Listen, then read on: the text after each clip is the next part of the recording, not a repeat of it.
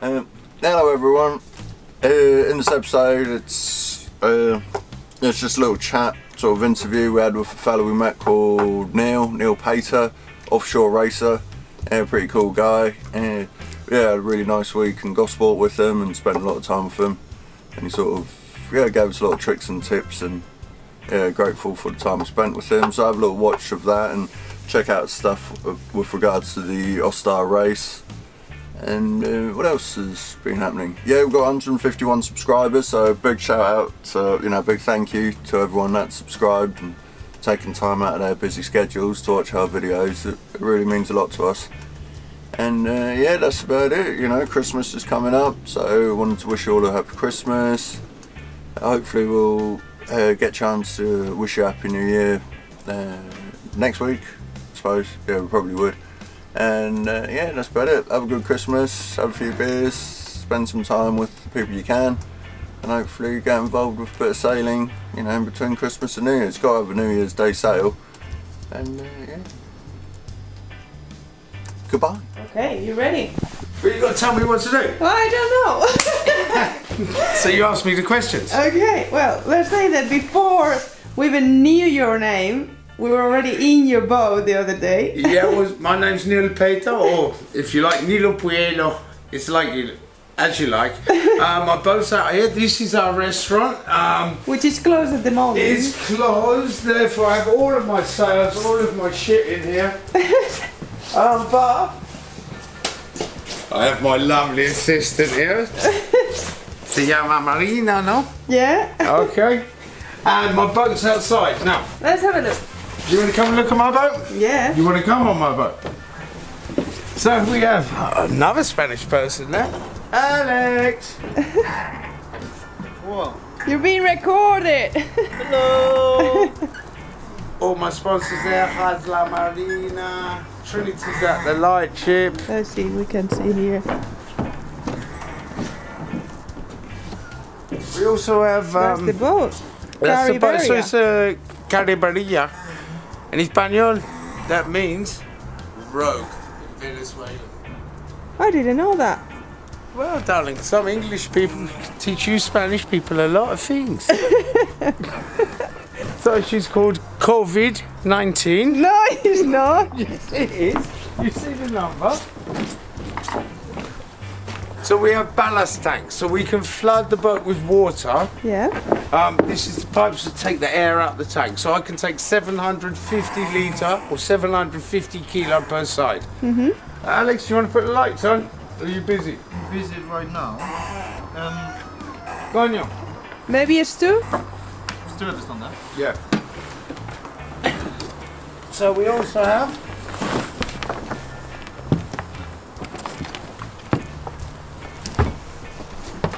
we're raising money for charity. Oh, yeah, that's important. I'll put the links in the description. Okay, so we have tw- twin rudders on the boat. So each side, you see, Yeah. it's connected with a bar here. We have steering system each side. Um, but when I'm not hand steering like this, in here somewhere, I have hydraulic pump, hydraulic ram. This is what steers the boat. So I have two independent systems, one each side. So I can just, with electronics, the boat has its own brain and it steers itself. It does what I say. So do you want to go inside and look at um, Yeah. Roger the cabin boy? Stuart is inside. Show us around what's inside. So as I said, you, you come into the boat. Yep. So when I want to sleep, I've got four beds here. They're called pipe cots.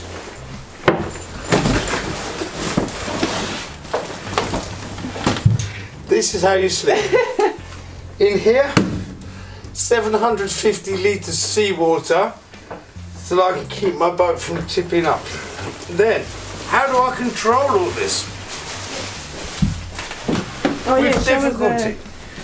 So, here is an inlet from the sea. Push it down.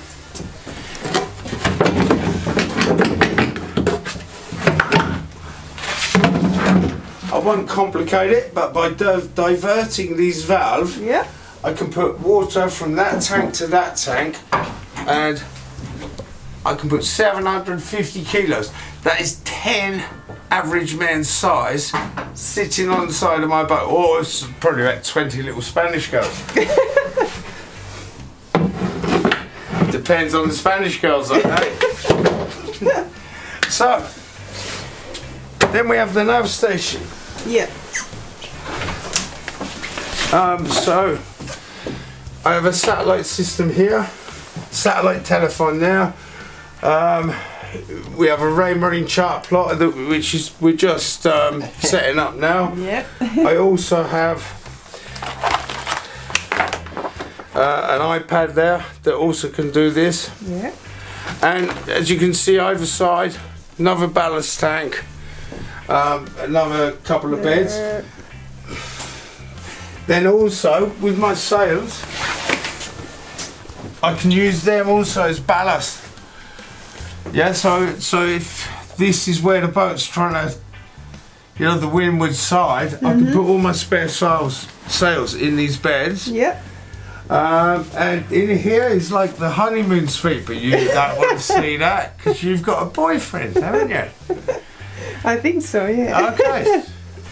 What safety equipment you've got? Um, safety equipment, absolutely. We are well trained. We've done uh, a lot of courses. I mean, for example, here I have uh, an EPIRB, so it's an emergency positioning indicating radio beacon. I have a satellite phone there. I have one also for my life raft, satellite communications there. I have a VHF radio, and I have um, in my life raft, which is in the cockpit, Marlboro Light and Stella Artois. That's all you need. yeah, man.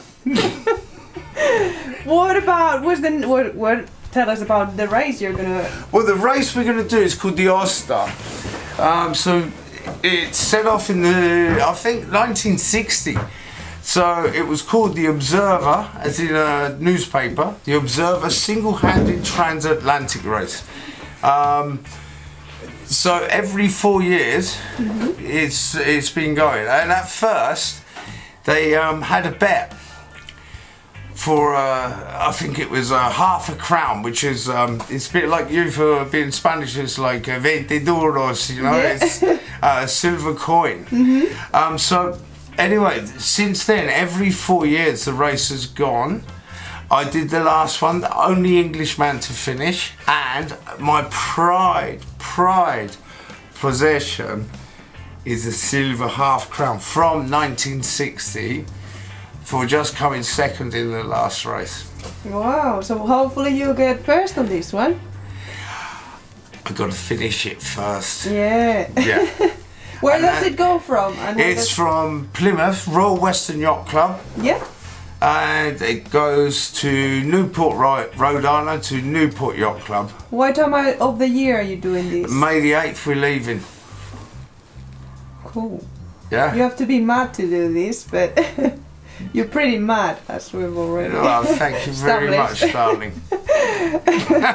Well, good luck in the race, and thank you for the hospitality too. And you're, you're very welcome for that, and you've got more to come, darling. Okay.